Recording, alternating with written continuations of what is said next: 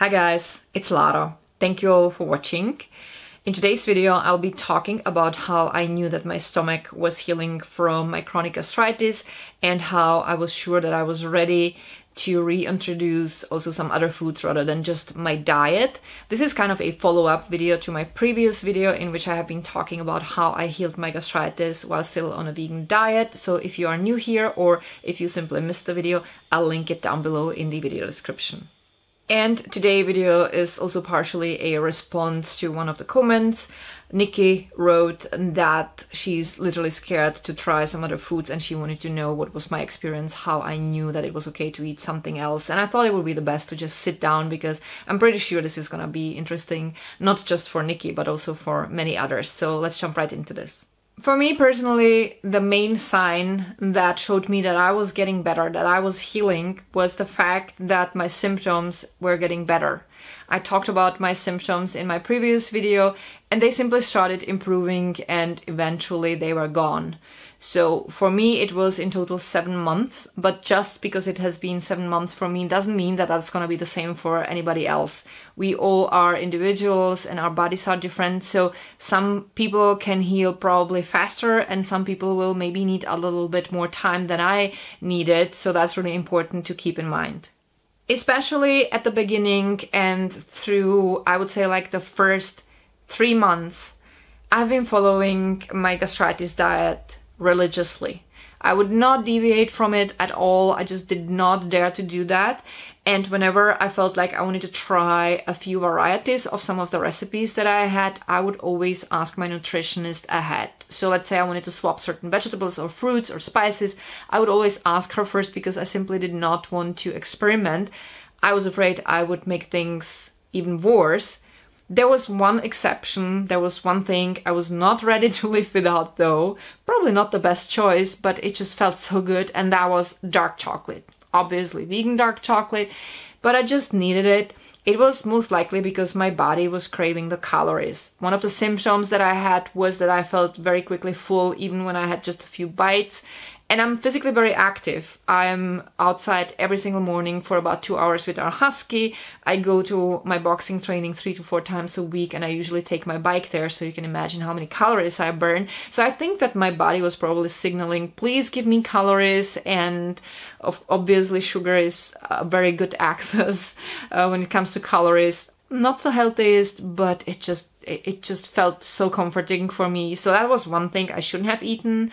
And I do have to wonder whether I could have healed a little bit faster if I wouldn't have been eating dark chocolate and if I would have just eaten a few bananas instead. But again, I'm, I'm a human being just like anybody else and I do have to have some vice. Once my symptoms were completely gone, I started feeling comfortable enough to experiment on my own. However, I would always do it in baby steps. So basically always introduce just one thing at a time just to see how my stomach would take it. And I would always wait a bit for the feedback from my body and react accordingly. So usually the way I do it is that in the morning I just stick to my oats, which is always the safest way. So it's usually one of the recipes from my diet. And then I'll have something new for lunch, something savory or something with let's say some fry foods or whatnot or maybe even a coffee and then I always see a bit later what my stomach thought about that and then for dinner I would always have uh, my usual soups with either tempeh or chickpeas or sometimes just a soup but uh, I would eat two bowls to be really full. I honestly really grew fond of having soups in the evening. They are so easily digested and I always sleep so well afterwards and they just taste great. So I think I'm gonna do that long term. Of course, I'll make occasionally exceptions, but I think it's a really good thing. And there are so many great soups that you can cook, like like really thick soups that are more more like a one pot meal than a soup. But it's just I just really like that. I already also had some raw foods, so I had a few times a wrap where there was cabbage and fresh carrots and some lettuce inside. As long as I ate that stuff for lunch and not in the evening, it was not an issue. In the evening, it doesn't feel like a good idea. And one time I had a salad and I made a mistake. I ate the salad really late. It was practically dinner time and that simply did not agree with my stomach. And I do wonder was it the salad itself or was it the time of the day? And I really think it was more the time of the day because, again, when I had these wraps for lunch, it was not an issue. So I'll try and have a salad in a few days with my lunch and I'll see how it feels. But in general, that's how I did it and that's how I still do it whenever I feel like, okay, I could eat this or that. I'll have it usually around lunch or for a late snack rather than in the evening because if I would end up having irritated stomach, I would not sleep so well. I'm pretty sure many of you love coffee. I was never a huge coffee drinker, but I really wanted to try one after a while. So the first coffee that I had was an almond latte where there was just a very small amount of coffee in it and the rest was uh, almond milk. I just wanted to be on the safer side and it was fine.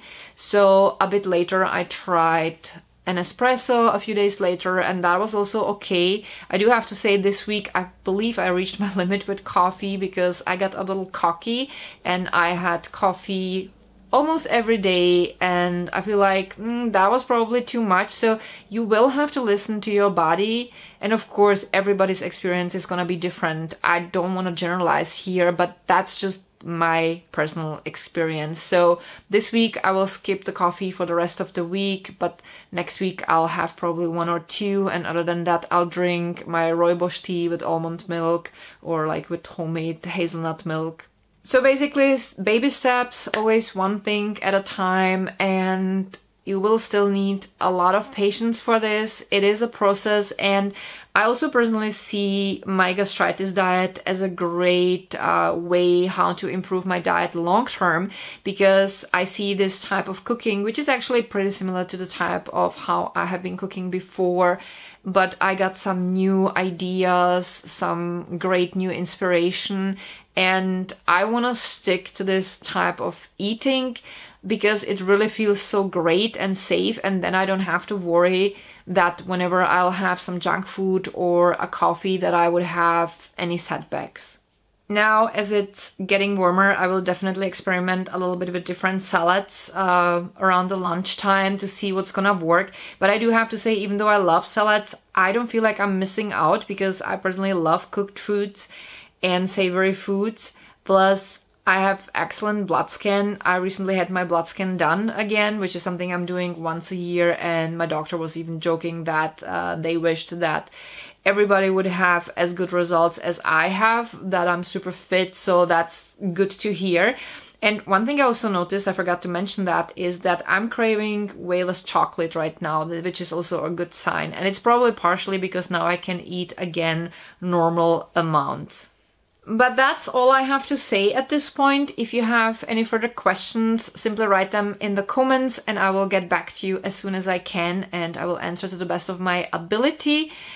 If you're new here, don't forget to subscribe. I will keep filming my what I eat in a day videos so that you can see what I'm eating in general. And thank you all so much for watching. I appreciate you guys very much. God bless you and see you soon. Bye.